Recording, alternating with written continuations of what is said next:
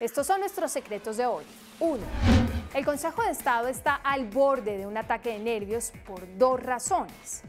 La falta de acuerdos para elegir magistrados y el efecto de la reforma que contiene el proyecto de equilibrio de poderes.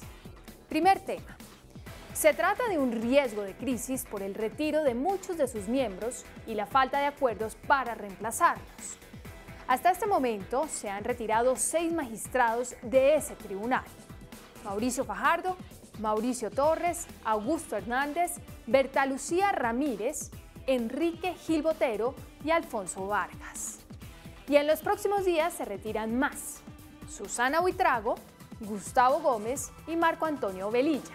El Consejo de Estado lo integran 31 magistrados. El mes próximo faltarán 9. El quórum en ese tribunal para elegir miembros no es de mitad más uno, sino de dos terceras partes es decir, 21, o sea, al borde de la parálisis. Hay salas como la quinta, que integraban cuatro magistrados y solo quedarán dos. Esa es la grave crisis que se avecina al más alto tribunal de lo contencioso administrativo.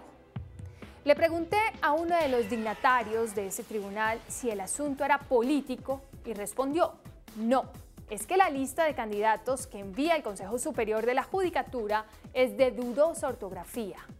Todos tienen su agenda propia.